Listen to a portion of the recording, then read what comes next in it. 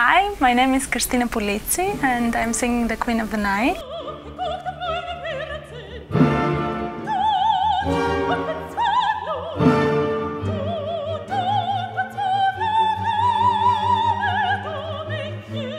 Queen of the Night, especially the second aria, is one of the most difficult arias that have been ever written for soprano in the operatic repertoire.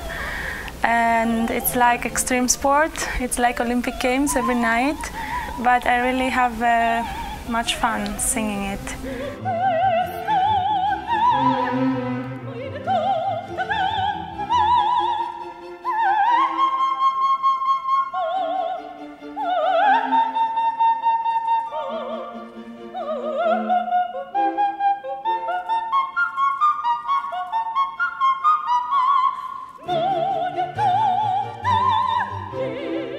It's really amazing to feel under your skin how powerful this character is.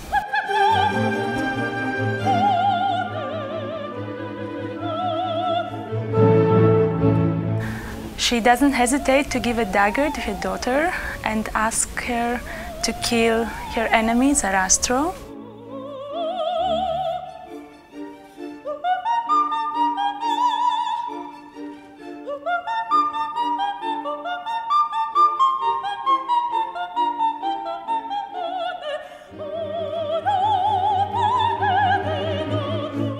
Must say, until now, I've loved the house and the city. The acoustic is great, and the feeling of the singer on the stage is one of the best theaters I've ever been.